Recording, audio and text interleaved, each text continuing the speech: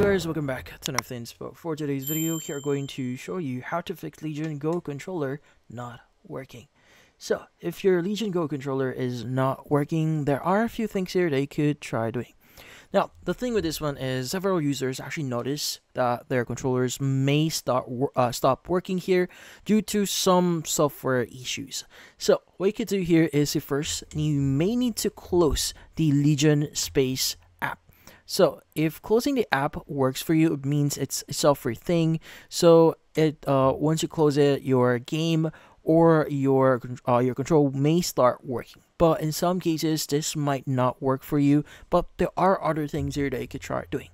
Now, there's actually a thread here where a lot of you people are actually experiencing the same uh, issue here. So their controllers are not connecting or not even uh, uh, working for them. So what you could do is you could try resetting it by pressing and using the pinhole.